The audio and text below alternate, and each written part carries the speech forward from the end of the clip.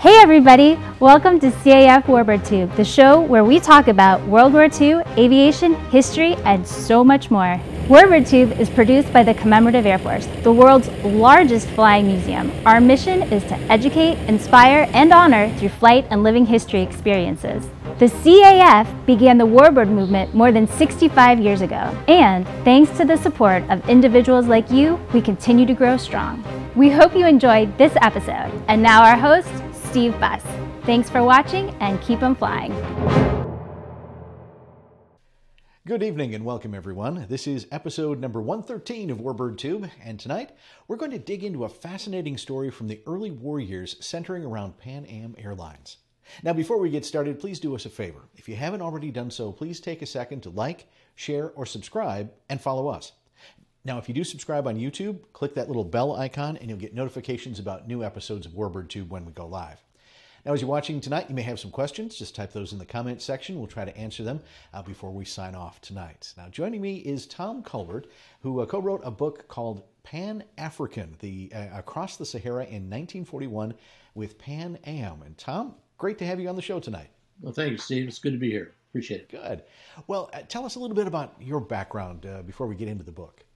Oh, yes. Well, first of all, uh, uh, thank you for the invite to, uh, to, to talk about this subject. It gives me the opportunity to express uh, my thoughts on two of my most favorite topics, and, and that is uh, Africa and also uh, aviation. And we combine them here in this book called Pan Africa. Um, I was an Air Force pilot, and I became one of a very few Air Force officers that were we, we, were trained as Africanists, and by that uh, the Air Force sent me to school and then sent me to Africa, where I lived and worked at American embassies in Africa as an Air Force attaché uh, for over five years. So I was based out of Cairo, Egypt, and then also out of West Africa in Abidjan, Cote d'Ivoire or Ivory Coast. And uh, while doing that, I had an airplane. The Air Force uh, provided me with a uh, C 12, and it was mainly for embassy support um, across Africa. I, uh, I had the opportunity to land at some pretty interesting airstrips out in the, the, uh, the Sahara Desert and the Sahel in, in West Af- in Africa. And uh, I kept asking the question uh, why was this airfield here? And I got different different answers depending on who I was talking to. But uh, make a long story medium, uh, turns out that these airfields were used in the early days of World War II uh, by a commercial carrier, Pan American Airways, and uh, they were supporting the British RAF effort in North Africa to begin with. And then, as you'll hear in the in the uh, gist of this presentation, uh, there was mission creep, and the Pan Am folks ended up doing a lot more to help the Allies in World War II. My interest was was was based on that. I retired from the Air Force, and I met up with the uh, the, the the alumni association for this particular effort. So 1,500 American citizens uh, were involved, and uh, they wanted their story told. And I said, well, I'll tell the story if I'll write the book, if you guys provide the information. And uh, what you're going to see is, is, is basically information that they provided. And it's the uh, true story, little known uh, true story of Pan American Airways Africa Limited. It was a subsidiary of Pan Am in 1941 and 1942. It's a it's an amazing story, and uh, like you said, very very not well known at all. But when you when you read the book and then you, you pull back in in in time and, and look at where the world was in uh, you know 1940 1941 um, Pan Am was perfectly positioned to be able to pull off the mission that, that needed, and that was uh, a lot of support, uh, especially in the in the Middle East and and Africa, and that's sort of how this all all gets started. So, Tom, take it away. All right. Well, as I mentioned, uh, two of my, my, most favorite topics: uh, Africa and aviation. But basically, um, uh, in 1941, I think it's kind of interesting. We, we should just stop and, and take take a look. You know what was going on in the world in 1941, and of course, Europe was at war. Um, the United States uh, was a non-combatant, a neutral country at the time. We were we, we were restricted in what we could do, but of course, uh, people like uh, the President of the United States, FDR, uh, was very supportive of the British war effort, and uh, and really wanted to to to enhance uh, the British efforts and um, and since Brit- the Great, Brit- Great Britain was in such uh, dire straits, uh, FDR was kind of leaning forward and trying to do whatever he could to support the British war effort.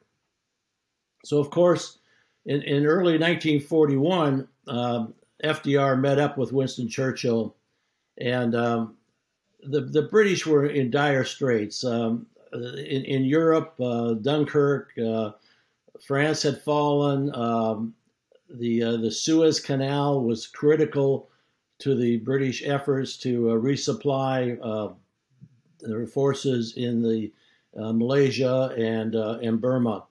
So uh, so they did meet um, off the coast of Maine in early 1941, and they were able to discuss what kind of assistance would be needed.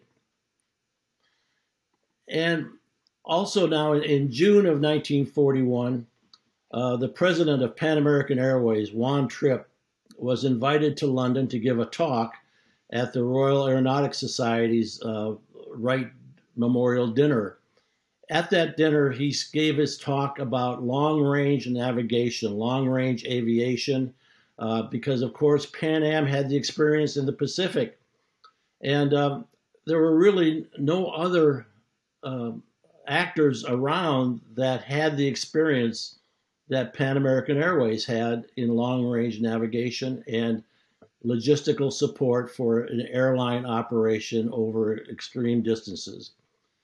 So uh, Juan Trippe gave his talk, had dinner, and uh, and the story goes that uh, shortly thereafter he was summoned to uh, 10 Downing Street where he met Winston Churchill, and again they talked about long range navigation and how could some uh, uh, how could an, an, entity like Pan Am assist the British in their efforts to move airplanes and support into North Africa where Rommel was threatening the Suez Canal. And uh, by the time Juan Trippe got back to Washington, uh, meetings were arranged with U.S. defense uh, uh, personnel and um, by August of 1941, contracts were being signed to uh, to enable Pan American Airways to provide men and equipment into Africa to support the RAF war effort in North Africa. So the question comes up well, how does the United States provide assistance to Europe and to Africa um, because of the great distances? And you see here there's three different uh, proposed routes. One is a northern route, which was okay, except that the weather was, was really prohibitive and, and uh, it was not something that could be relied upon 12 months of the year. The, uh, the middle route across the mid Atlantic, uh, again, was just really too long, and it ended up in Portugal, which was kind of a questionable location at that time, also. Um, just really not not a very good operating uh, base out of out of Europe at that time. So they looked to the south, and the decision was made to provide men and equipment using the South Atlantic route, and by that that means flying down the coast of, of Florida, hopping into eastern Brazil, and then using uh, long range aircraft. And that time, at that point in time, it was the the uh, Boeing 314 to fly across the South Atlantic uh, to the west hump of, of Africa. And that uh, that was decided, and the contracts were signed. And by September of 1941, Pan Am had men and equipment moving to West Africa. Now, when we say equipment, we mean just about everything that is necessary to operate an airline across Central Africa.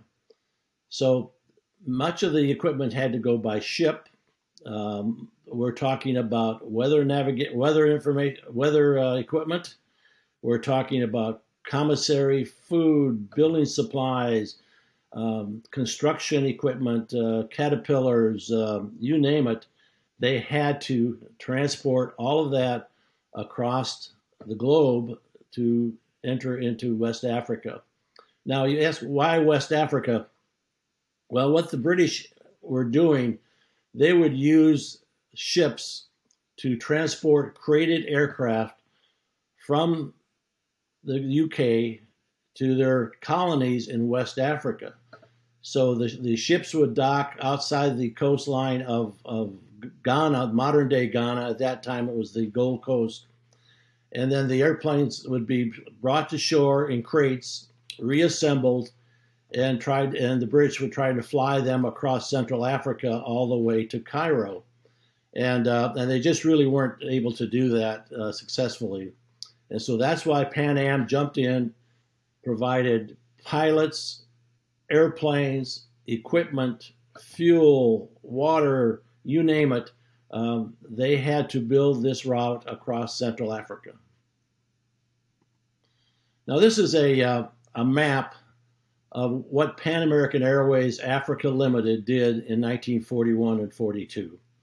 And uh, it gets a little busy on the left-hand side there, but you see you do see Accra, and Accra is in the Gold Coast or, or modern day uh, Ghana, and that was the main operating base set up by Pan American Airways Africa Limited. And you'll see across Central Africa all the uh, different stops, all the different routes, um, so all the different uh, airports that were being used to transport airplanes. Now, what kind of airplanes are we talking about?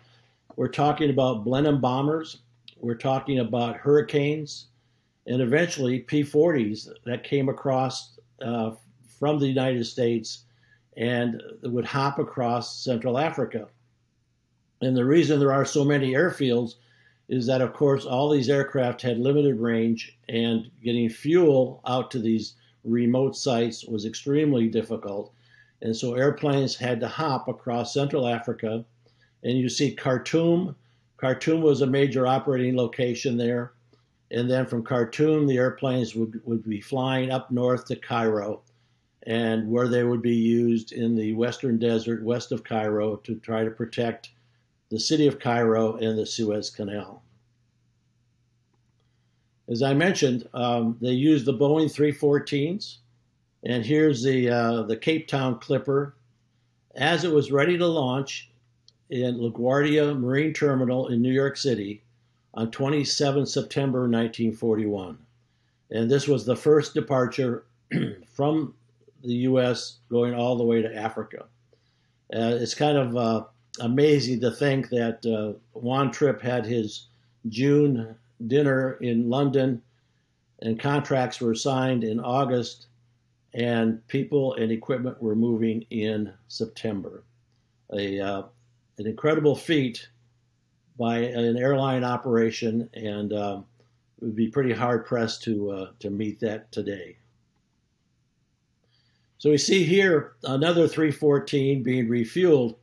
And what they did is they used the 314 to land in the lagoon system in West Africa and you can actually see in the far out in the far side there that there's a uh, there's a barrier uh, of land.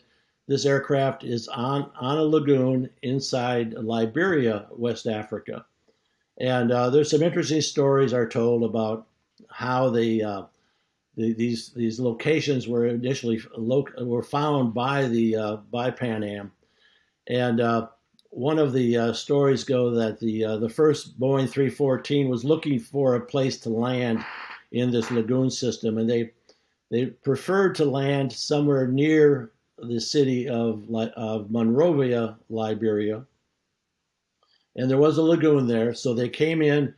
They did a couple low passes, and, and it looked pretty good, and, and they were about ready to come around for a landing on the lagoon near near Monrovia and there was a, a fisherman in a, in a pirogue uh, uh, on the on the uh, lagoon. And as the uh, airplane started coming down, the fisherman jumped out of his canoe and, and walked to shore. And um, according to the uh, the crew at the time, they figured that uh, it was a little bit too shallow for the aircraft, and they had to find somewhere else to land. Well, that's why they ended up in, in a place called Fisherman's Lake, Liberia, which is, is west of the main city of, of Monrovia. An interesting thing here to see is you see the uh, the American flag uh, painted on the fuselage. That flag was also painted on the top of the wings and here's another uh, another example of the, the flag and the, the front end of a 314.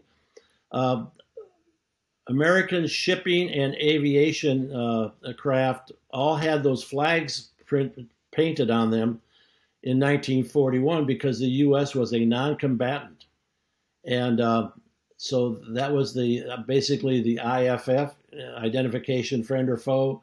Uh, symbol that was used in 1941 to indicate that this was not a combatant aircraft and therefore it should not be fired upon.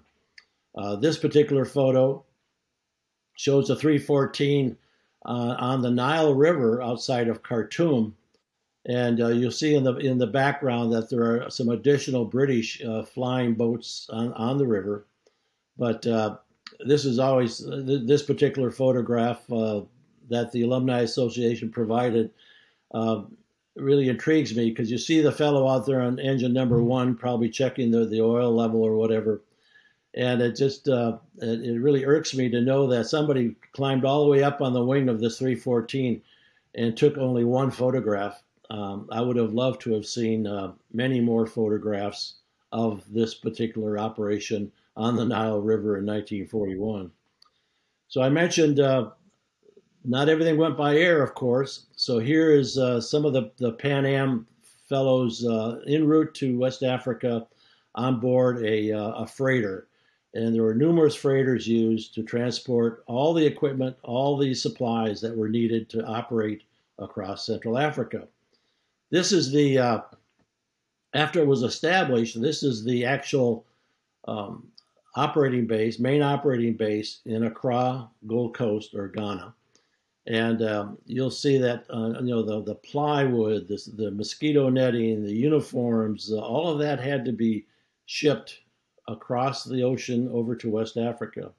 You notice on the um, on the lower left side here, this is a uh, air an air raid shelter that was built, and uh, the fellows uh, tell some interesting stories about uh, about their lives and, and, and their their daily operations in in West Africa but they built these uh, these air raid shelters, and from time to time they would have an air raid drill, and the men were supposed to report inside these bunkers. And they the uh, the fellows mentioned that they did that a couple of times under test, but in, after that they uh, they basically did, did not want to go down into the cellars because um, if you're familiar with West Africa, if there's a cool, damp place, there are a lot of different critters that love to uh, love to inhabit those places. So you've got scorpions and you've got all kinds of snakes and things like that uh, inside those things. So the men uh, the men decided not to uh, not to partake of that very often. Luckily, uh, this part of the route was never uh, never um, saw hostile action by the by the Axis powers. one of the locations, uh, N'Djamena, Chad, uh, did actually have a bombing at one time. Uh, a German a German bomber came down from North Africa and dropped a few bombs uh, on that particular location. But uh, other than that, uh, the route basically across Africa was fairly secure. Again, this is a, a, typical airfield operation as the as the as the war was ginning up you see the different types of aircraft uh, construction again taking place on the on an airfield in West Africa. Here you see uh, some of the uh, some of the different types of aircraft that, that would be found uh, on the airfields. Um, I often ask the question: uh, Does anybody know what this British aircraft is in the on the right hand side there? And uh, I uh, I found out myself that it is a Martin 187 Baltimore, and uh, this was one of the aircraft that uh, that the British had actually purchased in the late 30s from the United States. But uh, that is a Martin 187 Baltimore. So as the war progressed, uh, the um, the ability to have aircraft and maintain aircraft got really serious. Uh, I found this particular photo in the National Archives in Washington, D.C., but it shows uh, kind of a maintenance uh, nightmare. Uh, people working on these different airplanes, uh, um, Commonwealth airplanes, uh, but you do see down at the bottom there is an American aircraft being worked on also. So, tremendous number of aircraft were being moved across Africa and uh, and this is what uh, uh, a, typical maintenance operation would look like.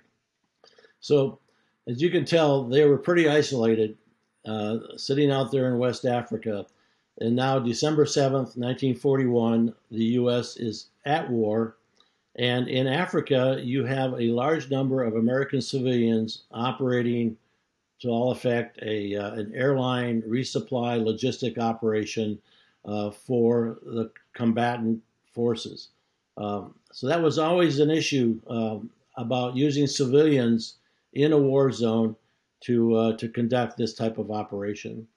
The uh, the route now uh, expands, and as you'll see a little bit later, um, mission creep uh, occurs, and uh, what happens is that the, the this particular air route now becomes the most significant air route in the world in 1941 and 1942 because there was no other way to transport individuals and equipment in such long distances around the, around the world.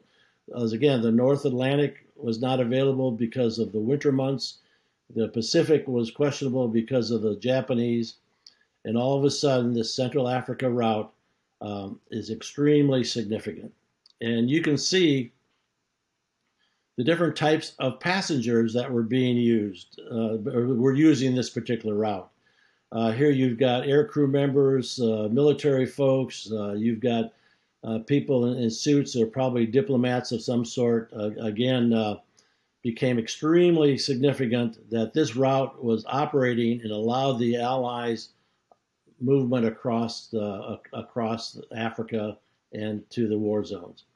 Here's another photograph uh, showing uh, a Pan Am airplane in the background, and, and these were all passengers waiting to get on the flight uh, somewhere in Africa in September of 1942.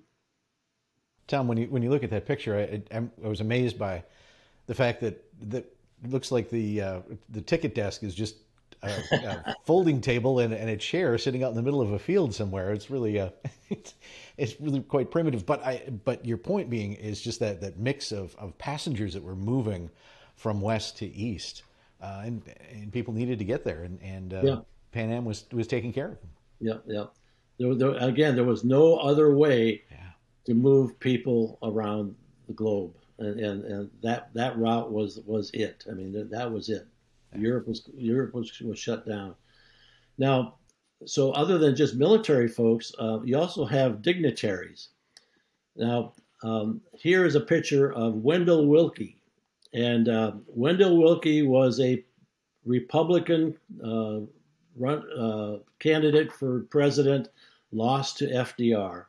But both Wendell Willkie and FDR were very supportive of the British war effort, and in fact, uh, FDR allowed or, or signed uh, Willkie up for an around the world visit to our allies uh, around the world, uh, our allies in Russia, um, uh, in China, and he gave Wendell Willkie an airplane, and uh, this is the Gulliver, and that's an Army Air Corps crew that that took Wendell Willkie around the world. Now, I was talking about Pan Am being able and being flexible and and uh, being the uh, the American uh, uh en- having the ingenuity and the Yankee attitude. So Wendell FDR asked Wendell Willkie to go to um, Turkey after he lands in Cairo, and uh, the Turks were neutral at the time, so they were not going to allow Wendell Willkie to fly into Turkey in this airplane that looks like a B-24. This is actually a, a, a, a non-combat version of the B-24, but uh, they would not allow him to come in. So the American embassy in Cairo uh, turned to Pan Am and they said, uh, you know, is there anything you can do to help us get Wendell Willkie to to uh, to Turkey? And um, in fact, what they did is Pan Am offered a a uh, C forty seven that was military drab camouflage, and overnight they painted it to look like a commercial airplane. And uh, what they did is they made it into a, a commercial airplane. They put wicker seats uh, in in the uh, in the fuselage for the passengers to sit at, and a Pan Am crew flew Wendell Willkie into Turkey. And I was at the National Archives again, and uh, on 7 October 1942, this is a photo of that DC 3 landing in Turkey. And uh, in the foreground there, you see B 24s uh, these were part of the raid on the Ploiești Romanian oil fields that had to divert into Turkey, and then the, the crews were interned in Turkey. And so one of Wendell Willkie's tasks was to try to get these guys uh, freed uh, while he was in uh, while he was in Turkey. But uh, this is uh, this is what that airplane looked like when it was on the ground and you'll see they painted this white stripe across the, the fuselage that says Pan American Airways System. And uh, the actually the uh, the RAF in Cairo helped Pan Am paint the airplane so that it looked like a civilian airplane. The uh, the Pan Am chief of, of, the uh, operation in Cairo wrote a, an after action report saying that the uh, the RAF did a great job but the uh, the round Pan Am globe on, on, on, the nose, and you don't see it in this picture. He said it's it's, it's the uh, Western Hemisphere, so you've got North America and South America, and uh, the uh, the the quote was that they did a pretty good job painting, although South America looked an awful lot like Australia, and uh, so it was the the British influence, the Australian influence as the as they got this airplane ready for Wendell mm-hmm. Now, flying in Africa, and um, I, I, mentioned I had flown in Africa, and it's it's really quite a quite an experience. Um, back in when I was there, and of course when, when these guys were there back in the 40, 40s, I, I flew out of the embassies in, in, in the 1970s and 80s. But again, uh, no nav aids, so a lot of uh, a lot of direct reckoning. And when I flew into Cairo, I took a a C-12 in for the very first time, uh, a Beech Super King Air. And I went to the Egyptian Air Force and I asked, uh, what do I need to know about flying in North Africa? And uh, one of the uh, Egyptian uh, pilots, um, uh, one of the general officers came up to me and he said, you know, Tom, what you need to do when you're flying in North Africa, you have to fly like you're flying over the ocean. And he said, you know, you'll have no nav aids, you'll have no weather, and you'll have very little ground uh, references to navigate with. And uh, and now that I think back on that, it's it's really it's really intriguing because um, who else but Pan American could have done something like flying in Africa in 1941 because they had all this experience of flying over water. And uh, so uh, uh, direct reckoning is a, uh, uh, a, a, modern, a modern method of navigation that, uh, that works to this day. So very few, very few physical landmarks that you could navigate with. One of the here's here's one on a on a clear day. But normally, what you end up with is a lot of sand, blowing sand in the in the air, and um, what you find is that uh, visibility is is extremely limited. And if you look, in, if you're in, in sand at, at you know 15, 20,000 feet, um, you can look straight down and see the ground but you can't look out at a 45 degree angle because the the light refracts off of the sand and it's basically zero zero. So um, it makes for some very interesting navigation and uh, and flying experiences in Africa without nav aids. No such thing as GPS and and, uh, and all of that. So the uh, the operation was to transport aircraft across Africa so that the British could could could uh, use them in the war against uh, Rommel. And here's an example of a P-40 that got lost and ran out of fuel, and uh, and landed in the uh, in the Sahel. And the standard operating procedure at that time was to land the aircraft dead stick, gear up, and wait to be picked up by a Pan Am crew coming out in a DC 3. And what they would do then is they would jack up the aircraft, lower the landing gear, change the prop, change the oil, uh, give the uh, the pilot some more gas, and then point him in the right direction so he could get to the next airfield and uh, and refuel. Refueling was always a major issue. And you can imagine how long it takes to uh, refuel a a B 24 out of 55 gallon drums. Now, a little bit later, things got a little more modern, and they actually have a Bowser there to help refuel this aircraft. But again, not all landings and takeoffs were successful. Uh, here you have a, a, uh, a DC 3 that ran into some problems and uh, ended up in a ditch and uh, needed some a lot of manpower to pull that out. Now, of course, uh, we're talking about Americans operating in very austere conditions and locations. Um, so, of course, having mascots uh, are always always a thing, and all these different these different uh, locations along the route. Many of them had uh, had monkeys, they had giraffes, and one of them even had a lion. And so this was this was Leo the lion. And they had gotten this lion as a gift when it was just a small little cub. And uh, lion cubs are really cute and, and, and nice. But uh, so this is at El Fasher in the in western Darfur, Sudan.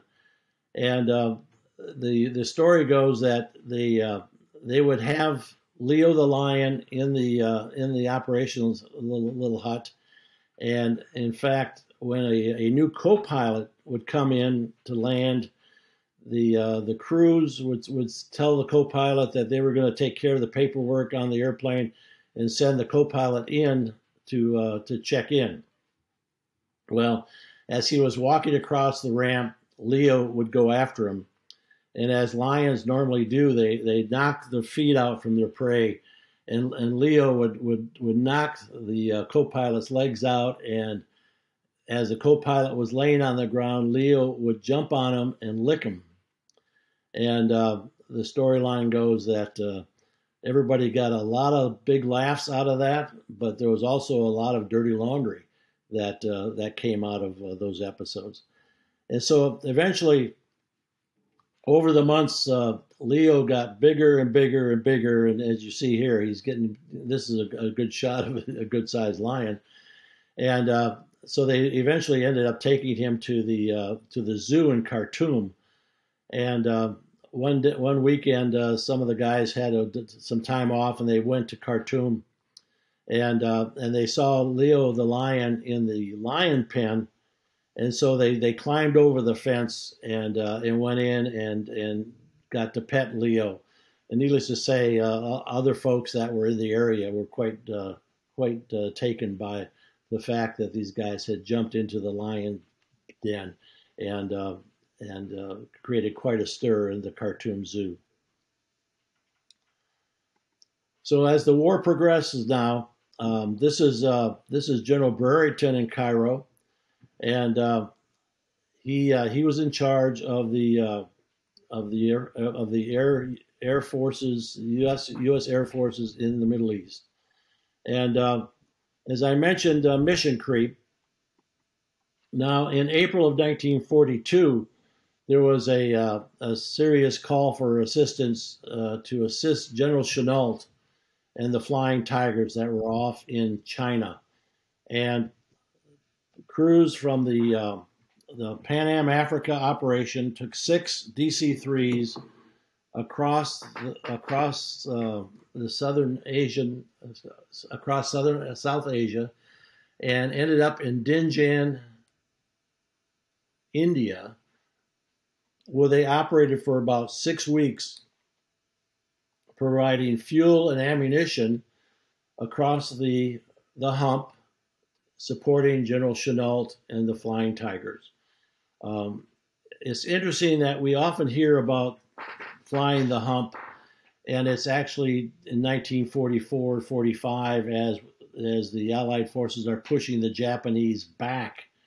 But in 1942, the Japanese were pushing the British to the west, and they had taken Rangoon, and things were getting very serious for the Flying Tigers, and uh, they needed assistance. So the Pan Am crews, along with some um, Army Air Corps crews and crews from the uh, um, CNAC, the Chinese National Airline, were flying support missions across the Himalayas into uh, Chongqing, supporting uh, General Chennault.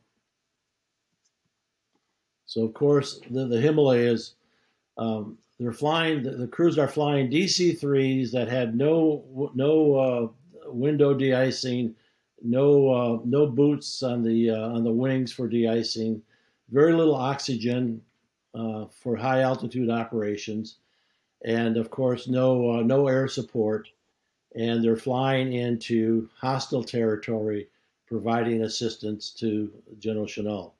Now, not all things went well, and here's a picture of an aircraft of a Pan Am C-47 that was damaged during a Japanese air attack in Loiwing, China, in 28 April 1942. So those are civilian pilots flying into China, and their aircraft was damaged in a Japanese air raid. Now, coming back from their delivery missions into China, they were also asked to stop in Burma and ferry out wounded British soldiers. You see here, they're under the under the in the shade of the wing of a, of a C-47, and also um, evacuate civilians coming out of Burma. And here you see a, a Pan Am crew in the foreground with uh, their um, uh, evacuees in the background. And so, even though we're looking at a Pan Am crew, they're they're starting to look quite quite military these days uh, as as things go on. That's correct. Yep. And uh, but look at those civilians back there. You've got yeah. children. You've got uh, these are these are the the families of Western uh, industry uh, that were located in Rangoon, and they're fleeing.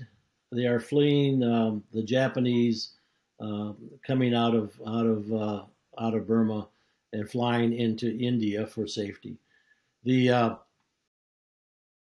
the other thing about April of 1942 is rather interesting. Um, another major event occurs in that region in 19 in April of 42, and that's the Doolittle raid.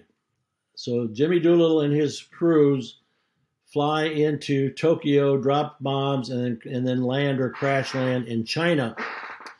And I often ask myself the question: uh, How did Jimmy Doolittle get from China in April of 42 to Washington in June of 42 to receive the Congressional Medal of Honor. And talking with the Pan Am crews, they said that they had seen Jimmy Doolittle and some of his members, some of his crew members on their flights going across Africa, heading back to the United States. So I've given this presentation quite frequently, and uh, in in uh, 2016, I was in Missoula, Montana, where I gave a talk at the Museum of Mountain Flying, and uh, this this elderly fellow came in to what to the uh, to the presentation, and uh, turns out he was David Thatcher, and uh, in 2016, David Thatcher was only the second remaining alive Doolittle Raider, and uh, he we had a chance to chat a little bit and I did ask him. I said, "Now, David, uh, after you uh, came out of China, how did you get back to the United States? And he said, well, we got on these DC 3s piloted by Americans, and we hopped across Central Africa, and we got to West Africa, and we got on a Boeing 314 and flew back to the United States. And uh, it was just really, uh, really extremely uh, significant uh, event for me to meet with David and, and uh, actually meet one of the raiders and to confirm the story that, that again, they used this most this this active route across West Africa in order to get back to the United States. Now, we talked mostly about uh, providing men and equipment to um, the war zones, but also the route became very significant, bringing things back to the United States. For example, the Doolittle Raiders came back on these flights, but also things like this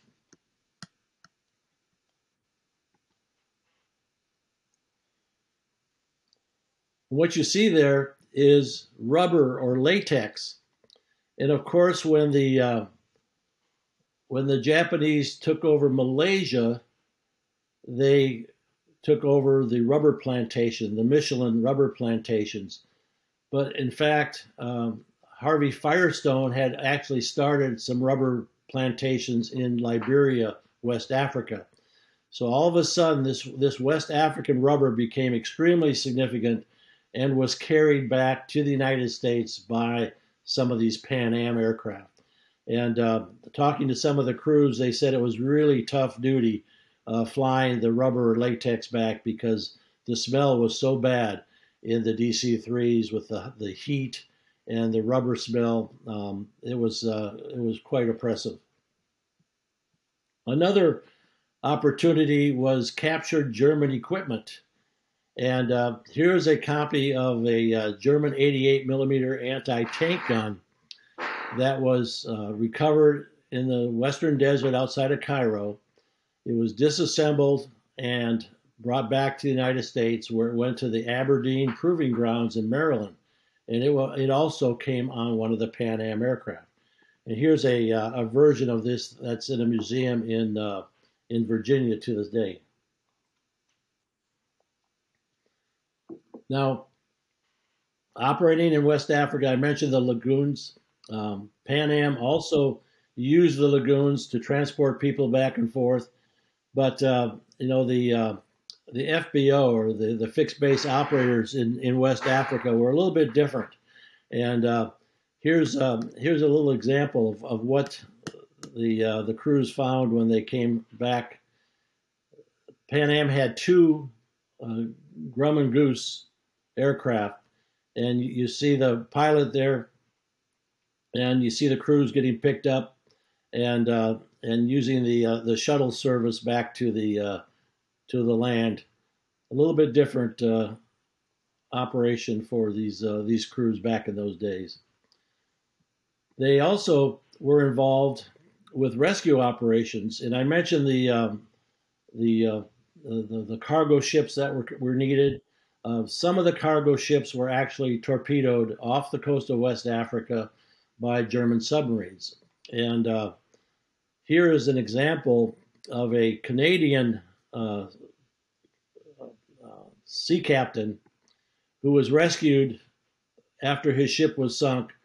And he and his crew are, are getting back into the Grumman for a trip back and uh, and to be rescued from their from their sinking ship the uh, supposedly the captain said that uh, he had been uh, he had been uh, torpedoed in World War One, and now he had been torpedoed in World War Two, so that he said that he was going to uh, look for some other type of employment. So again, as the uh, as the war progressed, the West African air route became significant as Lend Lease airplanes were being sent around the globe to all of our allies. Um, some of the allies were, were British, French, uh, even uh, even Soviet Union. And here's a, uh, I think it's an A-25 uh, being being delivered to uh, a, a Soviet airman for delivery to the Soviet Union. So the uh, the Pan Am episode um, was extremely important to the war effort as as the United States was getting involved in before the U.S. was actively involved in World War II. The uh, this was a uh, a, uh, a, poster that Pan Am put out, and again you see the uh, the clipper up above with the American flag uh, as a as a uh, as a neutral a non-combatant and you see the uh, the Pan Am captain here in a uh, almost a, a nautical uh, uniform, which is very very uh, very similar to what uh, what Pan Am was doing in the Pacific as a uh, as a, a maritime capable aircraft delivery and operating system. As I mentioned to you, most of this material came from the an alumni association that was established uh, of, of the people that worked in, in Pan Am.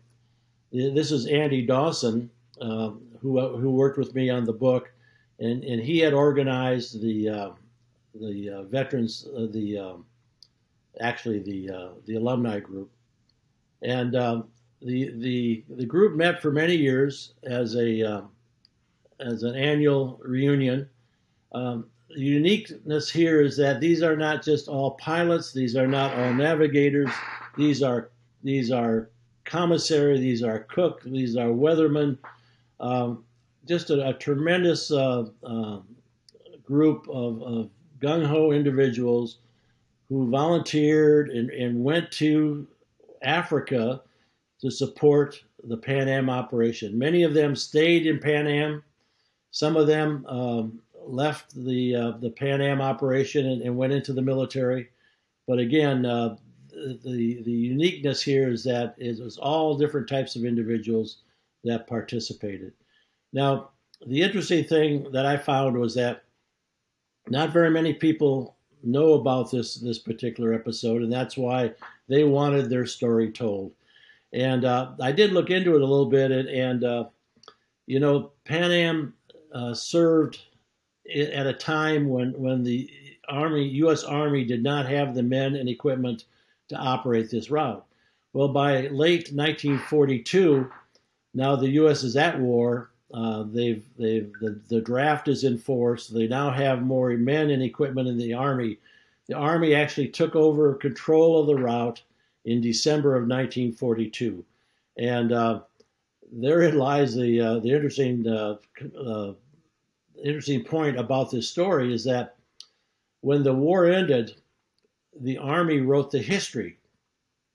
And if you look in the Army Green Books, um, the uh, they do mention that the Army operated the, the African air route and they actually took it over from a civilian operator, but they did not give credit to Pan Am for establishing it and running it for uh, almost a, uh, over a year um, by themselves.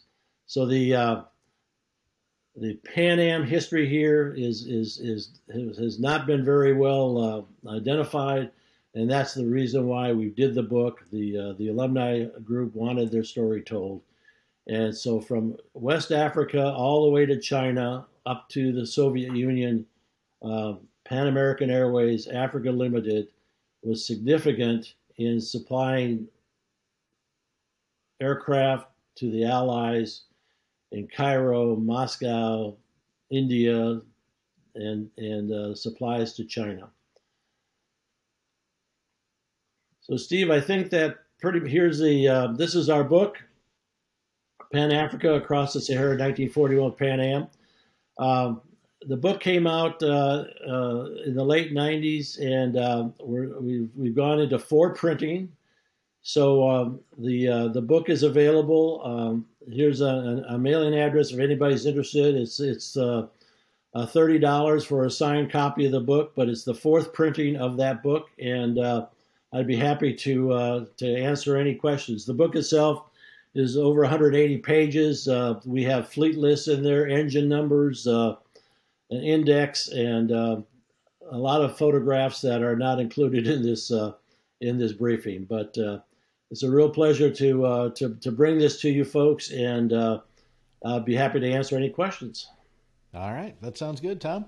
Right now, we're going to uh, go uh, to our uh, live segment, and uh, again, as Tom said, if you have any questions, type those in the in the chat uh, box, and uh, we will answer them before we sign off.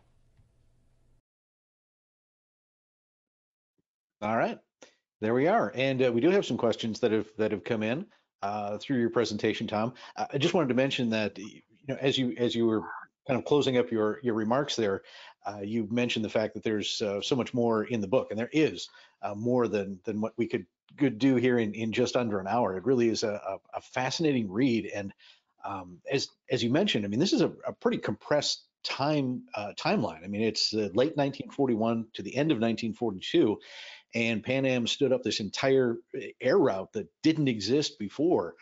Uh, was the, really quite a feat, and then kind of just lost to the literally lost to the sands of time uh, in in the uh, in the African desert. It's uh, it's it's an amazing story.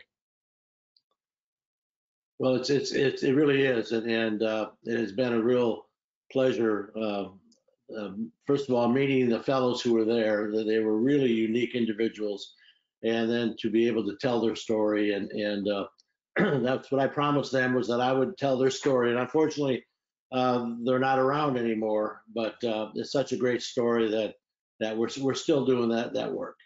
Good. Uh, you mentioned discovering that uh, David Thatcher, meeting him, confirming that the Doolittle Raiders had come back uh, on uh, Pan Am uh, airline. Um, any other like kind of just tidbits of history that just sort of popped up in your in your research that, that stand out to you? Well, the, the, the whole thing with Wendell Willkie is something that that has developed uh, I was able to develop that after, mostly after we we uh, we did the book. Um, those film clips that you saw, um, we have an extensive uh, uh list of, of, of, eight millimeter motion picture film that the uh, Pan American Airways Historical Foundation uh, helped us upgrade that to HD, whatever whatever the latest filming uh, uh, ventures these days. But uh, just meeting meeting people, and uh, I've had people call me and uh, say, are, are, you the guy that wrote that book?" And I go, "Uh oh." yes, I was.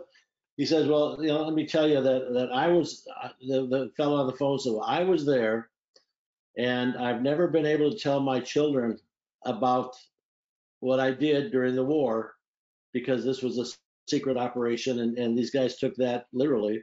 Yeah. And uh, he said, "Well, I'd like to order six books for my kids," and so, you know, it, it just it, it's just really wonderful to be able to to talk to these guys. And, and I I was giving the talk up in Wisconsin, in northern Wisconsin, and and uh, in November, and uh, you'll appreciate this, but uh, the a, a fellow says, "Well, I was in the Army Corps, Army Corps, and I was in Africa in 1942, but I've, I've, I've never been able to tell a story because it was always classified.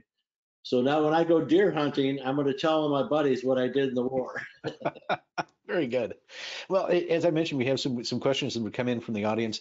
Um, we're, we're, the we're the Pan Am uh, crews, the ground crews pilots. Eh, did they have any sort of special training going into this, or was it just sort of an adventure? When when they uh, when the contracts got signed in New York City and in, in, Washington, uh, Pan Am sent out into the hinterland uh, people trying to find pilots and mechanics and weathermen and cooks, and, and they they they blanketed the city of New York uh, looking for supplies, uh, plywood, and things like that. Um, but they they uh, they actually went to um, uh, Army Air Corps pilot training bases, and they were able to, with with with with concurrence of uh, Hap Arnold and the Army Air Corps, uh, they were able to draw newly vintage pilots out of the Army and offer them a civilian job with the promise that when the civilian job ended, they could come back to the Army and not lose uh, long, their longevity, um, uh, uh, time and service things. And, and, then they went to the um, to the mechanic schools. And, and Andy Dawson is a perfect example. Uh, he was an 18 year old recent graduate of a, of a mechanic school up in upstate New York. And uh, when he graduated, there was a Pan Am guy out there, you know, asking people if they wanted to go and do something exciting, but they couldn't tell him too much about it. And uh, then they gave him a ticket to go to New York City, and they got physicals and passports that had all kinds of uh, of, of, visas in it and things like that. And they, they, still really didn't know where they were going, but uh, but these guys signed up uh, in in mass uh, to, to to go do something different. Yeah. And now you mentioned that the the pilots, the Army Air Corps pilots, became civilian contractors and then were brought back in after the Army took over. Do you know were there a lot of Pan Am uh, pilots, mechanics, uh, weather people, ground crews, or any? Did they did they stay with Pan Am mostly, or did they transfer and become uh, you know into the Army Air Corps? Yeah, uh, it's an interesting it's an interesting uh, uh, sidelight to this whole story.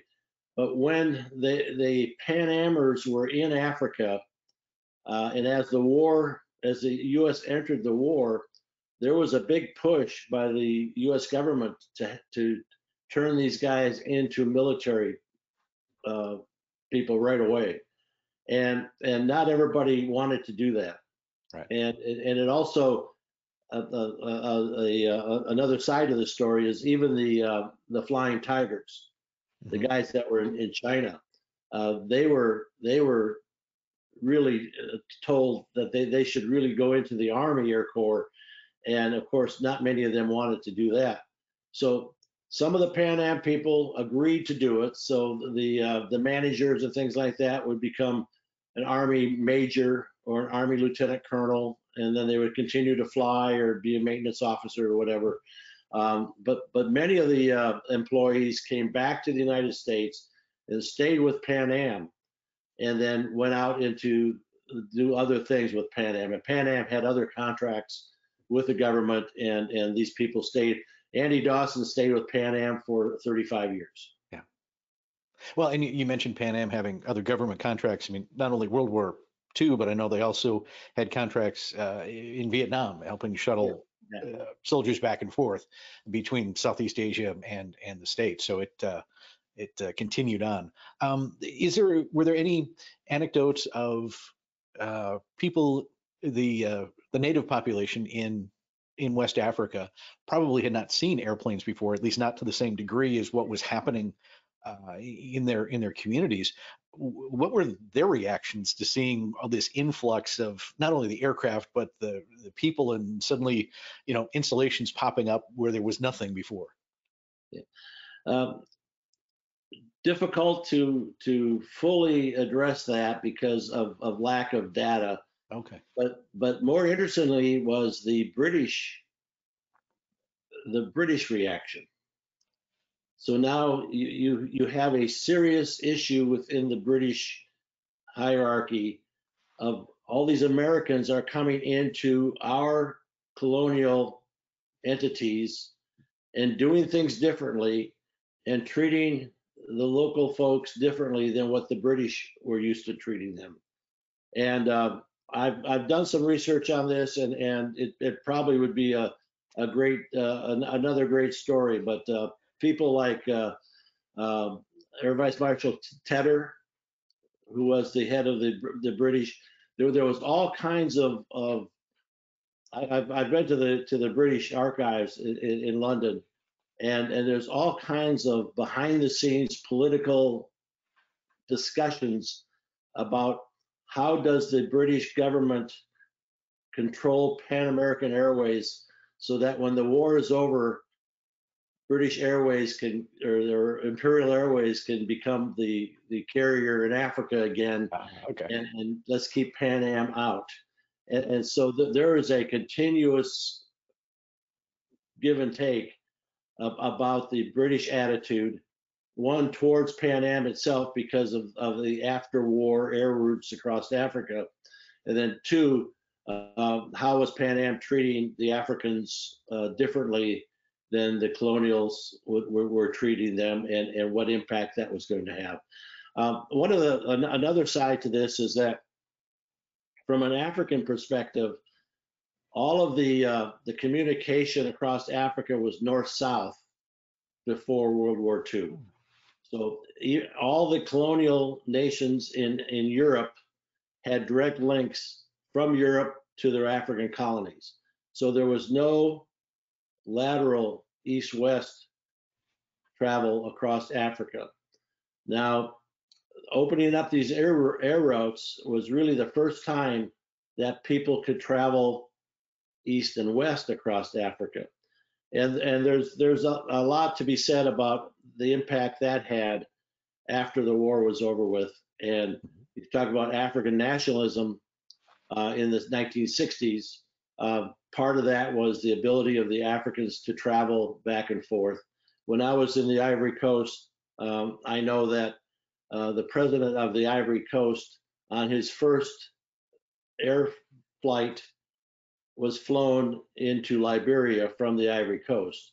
And so there you had one of the very first times that there was east-west travel within the African states.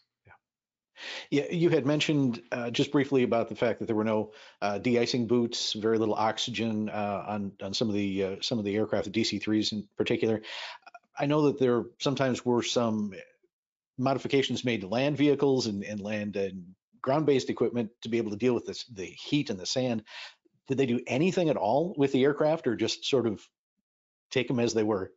Yeah, take it as they were, and, and grin and bear it. Uh, yeah they uh, they were really they were really worn out uh, with with the type of missions they were flying, and uh, and flying that hump was was was very difficult, and and again just the idea that these were civilians operating in an active war zone.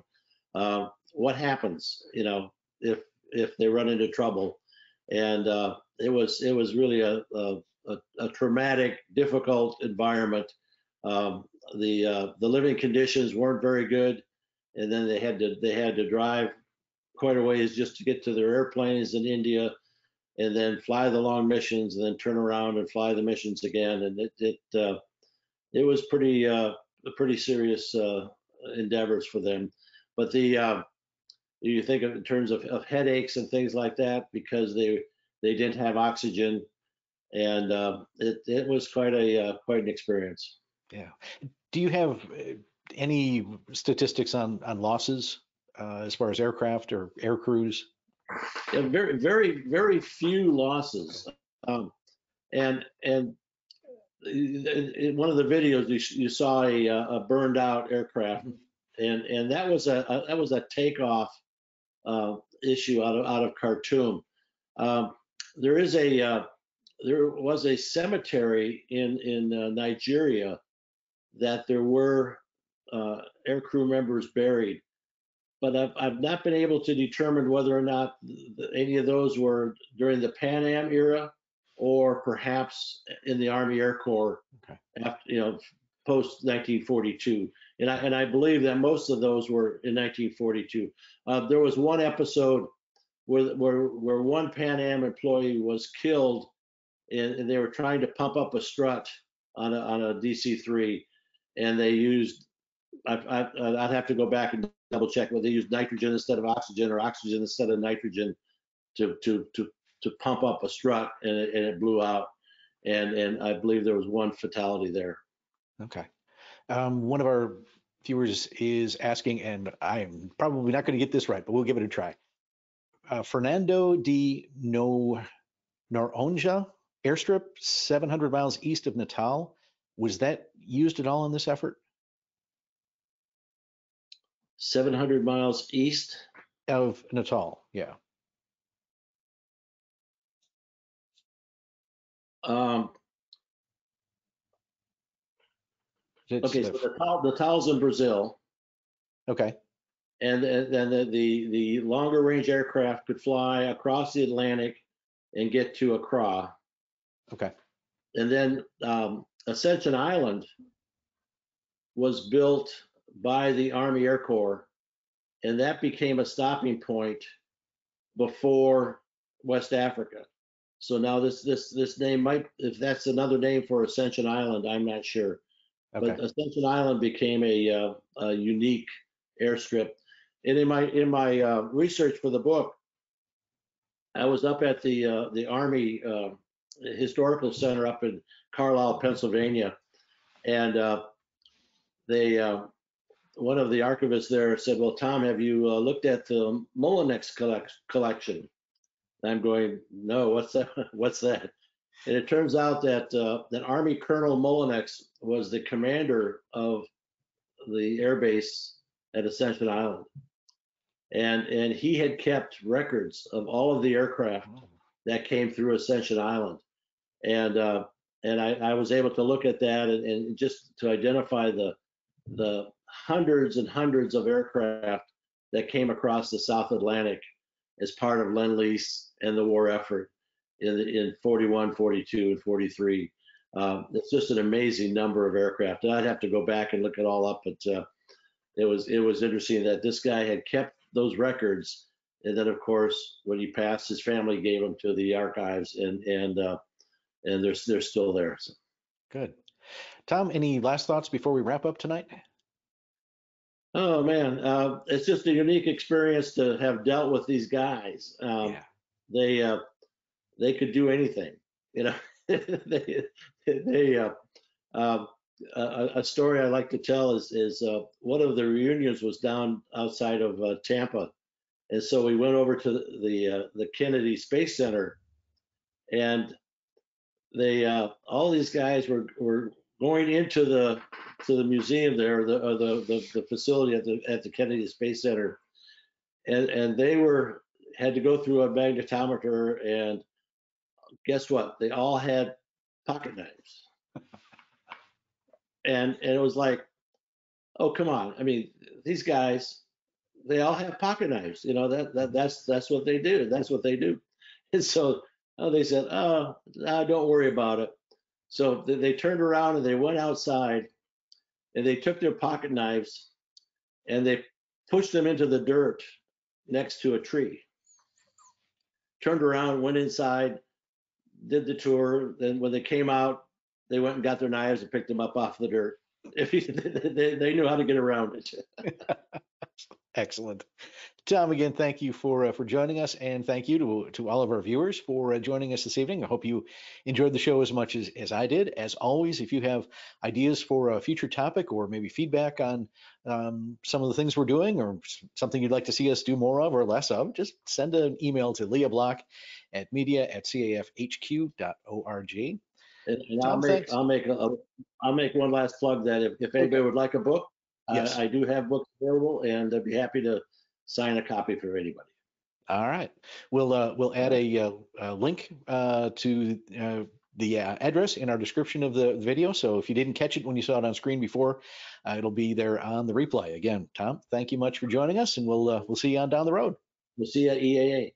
Sounds good. Thanks again for for being here and for the Commemorative Air Force. I'm Steve Buss. Have a great night. Good night.